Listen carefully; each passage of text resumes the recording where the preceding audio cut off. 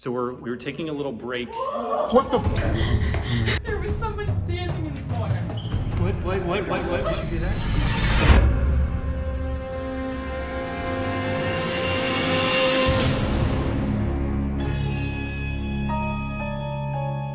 We're in Middletown, Ohio right now at the Poasttown Elementary School. AKA the most haunted school in the world. Honestly, I was excited about this trip. I like to feel emotionally challenged by things that are supernatural and spirity. I am the least emotionally equipped person to do something like this. I can't watch scary movies. I can't even watch a scary commercial. I am terrified of the dark. As a person, I'm pretty skeptical. If there's a simpler explanation for something, I'm gonna reach for that first. You will never catch me being scared on camera, but internally I'm screaming. My coworkers, specifically my black coworkers, told me this was not such a great idea to go on this trip. You will regret it. The plan was first we'd do a guided tour in the daylight, then later that night we'd explore the building alone. As we begin the tour in the daylight with our, our guides, I'm just kind of getting my sense for how scary this is gonna be. I was already on edge. This is what we call Sarah's stairwell.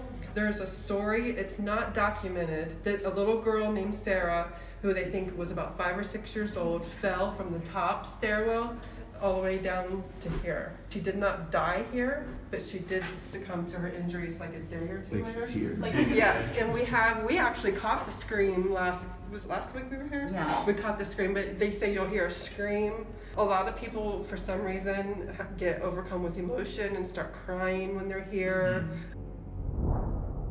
There was two train wrecks. There's a train, you'll hear it. Behind here, one happened in the late 1800s and one happened in 1910. Middletown did not have a hospital at that time. They used the land as a triage. So now this is also a hospital. Right, right. We've also been told this land was used back in the day for a baby farm. I did not know what a baby farm was. What is that? But basically, if your child was born out of wedlock or whatever, you didn't have the means to take care of it, they brought it to a baby farm For what purpose? to get rid of. To get rid of, yeah. Hearing the historical context for why this place is haunted complicated things for me. There were some things that I didn't enjoy hearing, some things that I wish were omitted. And that was when I started having sensations of like my hand feeling as though someone was grabbing at it. Her hand is red. my hand is red. And I'm feeling things on my hand. Why is her hand red? It's almost overblown. Oh, right, right here. Yeah. And it was distinctly getting red in an area where if you go to like hold somebody's hand, that's where their thumb might go. This is a mind fuck. Is it? It's Can like we fun? are feeling shit. I mean, Yeah. physical, like like a bug is on your elbow and then there's no bug when you look. That's happening. I don't know what to, I don't have an explanation for that, and that's kind of what I'm grappling with right now. So we go upstairs to the classrooms, and I, initially I felt safer up there. Once we moved to what they refer to as the bad teacher hallway, I started feeling immensely uncomfortable. We are now going into the mean teacher hallway.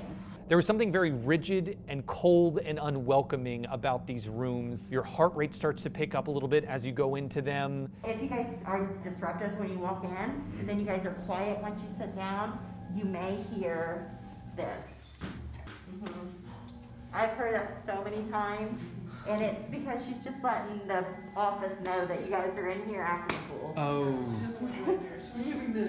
She wants you So is it safe to assume something like that goes like to the principal's office or? So if the third floor is the final level of this video game, then the principal's office is the final boss. I really didn't pay attention to like the layout of the land. I have no idea where I'm going. I hope I don't get lost. I hope I don't get trapped in a room. I hope I don't trip and fall down the stairs. This is where the secretary sat, and the principal's office is in there. I just find it kind of odd that the principal's office is so secluded, and I get like negative vibes from that room. So I'm just like, I just don't feel like one of the principals here was a good guy. Knowing that we have to go back to the school after dark, I don't know, man. I was absolutely dreading going back to the principal's office by ourselves at night. They're basically throwing the keys to the building over to us. They literally told us, like, lock the door on your way out. We have free reign of this entire abandoned school. Realistically, where is everyone's head at? I'm less eager to do this. than Yeah, I was going in. I'm fully terrified. I came into this trip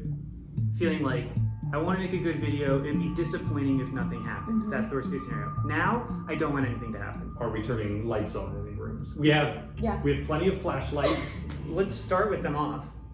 And if we need the lights on, it's like a safety Oh, mechanism. I would say the opposite. No, I would say turn it on, feel the you're energy. I just I am on your side. I'm game for anything. I I do want to capture something. I want to make this trip Yeah. worthwhile. Yeah. I think this is us just going through this as people, and uh, we'll see what happens. Now, do we want to experience something? No. Oh man, are we really doing this?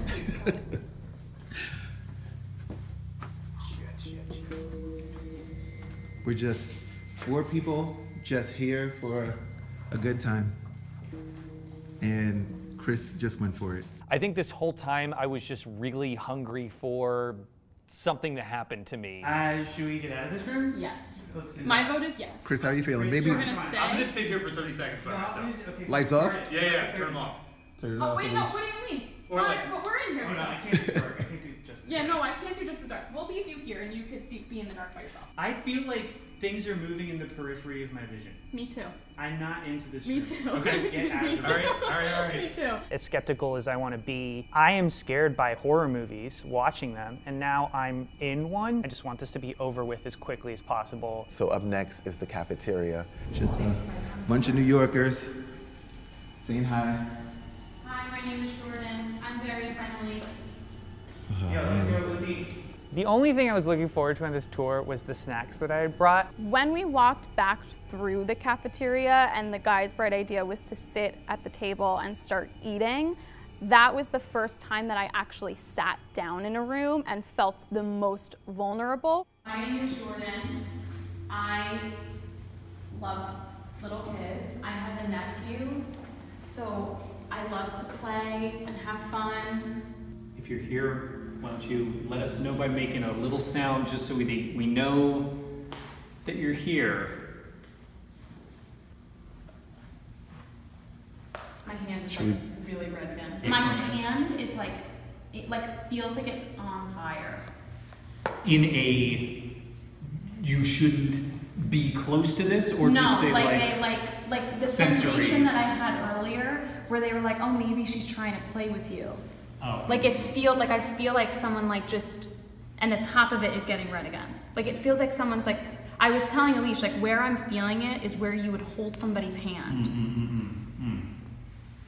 if there's somebody here and you're trying to hold Jordan's hand, if you're trying to play with us, we appreciate that. Uh, You know why they're not going to respond to you? Because you sound like a guidance counselor. I was literally thinking that like I sound incoherent. Sarah, if you're listening or you're here, we are very sorry to hear what happened to you. It's funny, I don't feel like the overwhelming sadness down here. There's literally a sensation that's like pushing me up the stairs. But whatever Okay. I, Okay, so let's So, just go. do you feel compelled to follow it though? Yeah, let's just go. I don't want to go upstairs. When we got to the top, I had an overwhelming sense of like dread, fear, sadness. It really is like Oh my god. anxious. Give me one of those. It literally feels like it literally feels like See I'm uh, like getting like upset. Like the moment that I took away my shield, aka the camera, something weird happened. Let me stand, not hide. Ooh, there's my phone. Ooh. It's a voice. And where's the voice coming from? My pocket. Does that mean that a ghost is trying to establish a connection with us? Possibly. I'm wondering if what's happening to everyone is that they're hearing the story and they're empathizing with the character in the story. So you feel bad and you're feeling a little bit of what she might have felt, but it's still freaky. You know what's interesting though? The closer I get to Jordan, the more I hear things. like, it's, it's weird. that was the first time that a day verbalized that the closer that he gets to me, the more he feels and physically hears, which was terrifying but very comforting and affirming. And now we're heading towards the janitor's workshop. All of the guys walk into the room, and again, I physically cannot walk in. The only way that I could describe it is that a wall is immediately put back up, and like you watch in a movie or a game, someone just bashing into it. You could, I mean, listen, No, but I want you to feel like if you go back, you have a, a, a system around you. oh, it's okay. It's okay. I'm Kick gonna the just camera and I'll stand go with here. Chris. I was telling myself that anytime Jordan needed to walk away and, and regroup, that I would escort her there, uh, as if that was some noble thing I was doing. Honestly, I was just also scared. Back to safety. I feel good about being halfway done, but like, I don't know how I'm gonna feel about the like bad teacher hallway. Oh shit. Oh no, here we go. Here we go. Say that chair has your name all over it. I, I don't see my name on that thing. We understand you're the janitor here. Let's. That's enough. But you're so close, you might as mm-hmm. well see it. Or maybe you don't did wanna already. see yeah, it. yeah, yeah. Now I'm like, why? What is the point of all this? Before we headed upstairs, I wanted to go into the cafeteria one more time to take some flash pictures. I am one second into vlogging that, oh, here I am going into the cafeteria. So we're, we were taking a little break. What the f- Turns out that it was just the owner of the building just coming to check on us. Now it was time to finish what we had come to do. Who knows what else could be going on or like waiting for us upstairs? the adrenaline is back. So one thing that Daryl warned us about is not to stay at the head of the central stairs because that is the precise location of a portal, which is sort of like a train stop for spiritual public transit, I guess. Jordan, There's a, a refreshing. Uh, No, once you feel bad, leave. Okay, this is the portal. And the reason it was located there is that it's at the nexus point of iron, water, Copper. and limestone. No I'm pressure definitely to getting stay. nauseous standing there. Then get the fuck out. Do you want to sit in here? She's gonna read to the children. We walk into the room. It was a room that I always felt welcomed, wanted, and almost like needed in. If you're here with us, I was told that you like your stories read to you. There once was a family of three bears. There was a great big papa bear, a middle sized mama bear, As I'm going through the story, I could start to feel pressure on my feet. It feels like that there's someone sitting at my feet. I can only imagine that my voice is now like echoing through the hallways and welcoming any other person into a room that I originally felt comfortable in. We then are deciding what room to go into next, but are suddenly getting overwhelmed by the hallway we're in and the fact that we can't see down the hallway in either direction. Dude, go in so I don't have to be in the hallway. Nope, nope, nope. I feel like all the blood is like coursing in my body in here. Oh, I fucking hate this room. So I can't walk in. Ugh. Yeah, I'm Could feeling. somebody shine the light on, on yeah, that. Uh-huh. Oh my god. We need to take these pictures and get the fuck out of here.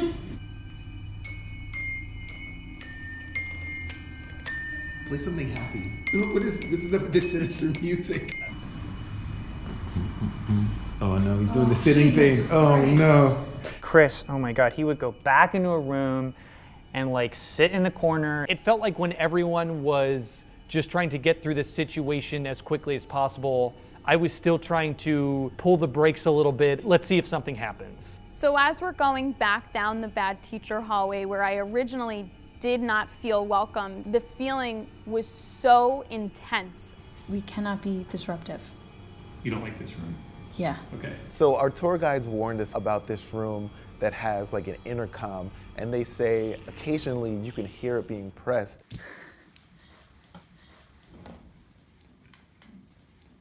I heard it. Yeah. I heard it. Me too. Yes. No. no. I knew at some point I would just have to dissociate and like maybe wake up and the tour was over. We're almost done, but there's one room left. It's the principal's office.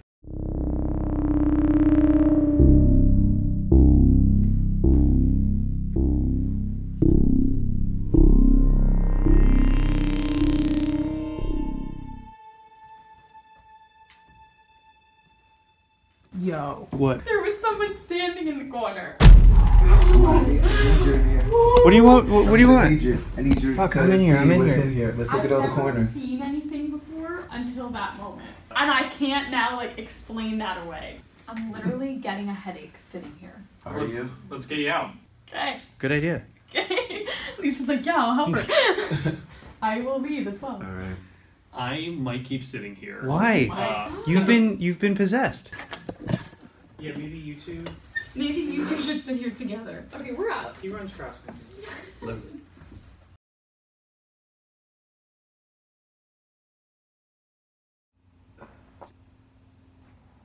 I heard. What was that? I don't know. They're like two taps. Yeah. I heard that for sure.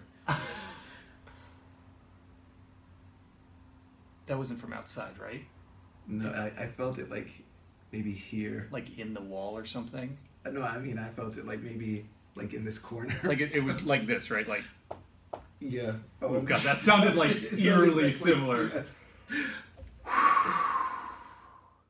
A lot of the stuff in the principal's office is pretty hard for me to wrap my mind around. Things have definitely been reaffirmed about my beliefs. I was always open and receptive to this kind of experience. Am I still a skeptic? Maybe I'm less of one. I don't know if I'm ready to believe in ghosts, but I'm definitely not ready to provide an alternate explanation. Am I a believer? I don't know, but I feel like I did experience something. Do I want to do this again? I'll, I'll let you know.